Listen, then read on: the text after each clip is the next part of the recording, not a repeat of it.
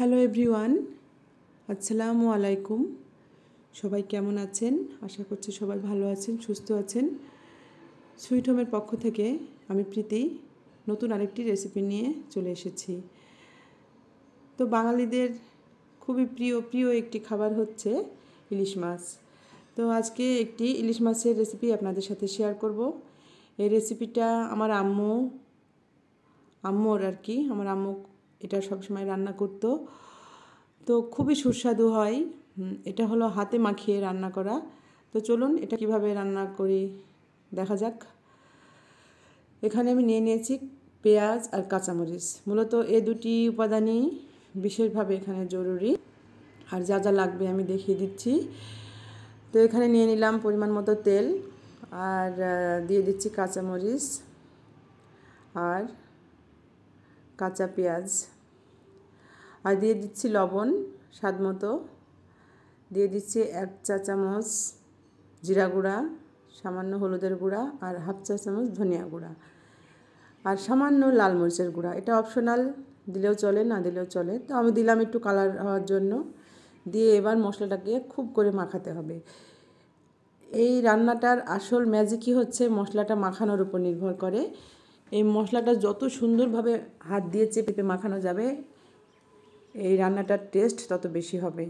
তো আমার মশলা মাখানো শেষ, এবার আমি মাছগুলো দিয়ে দিচ্ছি।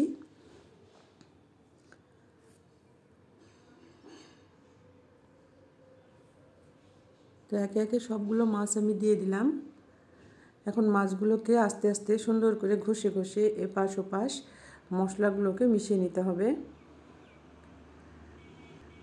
তো আমার আম্মা এভাবেই সবসময় এই মাছগুলোকে একটি একটি করে এভাবে আস্তে আস্তে ঘষে ঘষে মশলাগুলোকে মিশিয়ে নিত, আমি দেখতাম।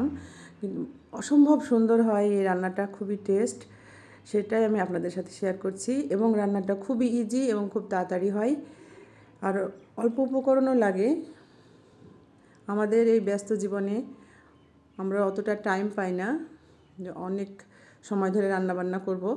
তো এসব ইজি রেসিপিগুলো আমাদের খুবই জরুরি, সবারই জানা উচিত।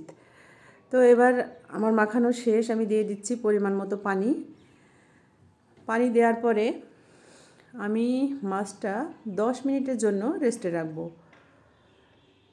দশ মিনিট রেস্টে রাখলে হবে কি, মশলাগুলো মাছের ভিতরে খুব সুন্দরভাবে ঢুকে যাবে এবং মাছটা খেতে অনেক মজা হবে। ফিরে আসলাম দশ মিনিট পর, এবার আমি গ্যাসটা অন করে দিচ্ছি। দেখতে পাচ্ছেন মাছটা ফুটে গেছে। আমি কিছুক্ষণ হাই হিটে জাল করব, তারপরে এটা মিডিয়াম ফ্লেমে দিয়ে দিব। তারপরে আস্তে আস্তে মাছটা হবে। খুব হাই হিটে এটা রান্না করলে টেস্টটা অত সুন্দর আসবে না।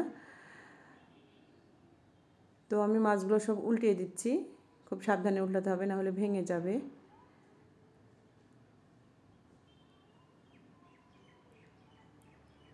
এবার আমি মিডিয়াম ফ্লেমে আস্তে আস্তে নরম জালে এটা আমি রান্না করব। এটা খেতে অসম্ভব মজা এবং খুব ইজি আমার মায়ের হাতের স্পেশাল ইলিশ মাছের রেসিপি আশা করি আপনাদের ভালো লাগবে। আপনারা বাসায় অবশ্যই ট্রাই করবেন।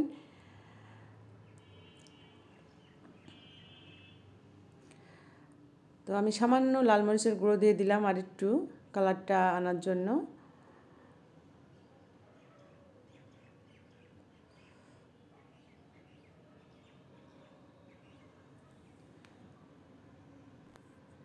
তো হয়ে গেছে এই যে আমার ঝোলটা আমি এই পরিমাণে রাখব। তো এবার আমি গ্যাসটা অফ করে দিচ্ছি।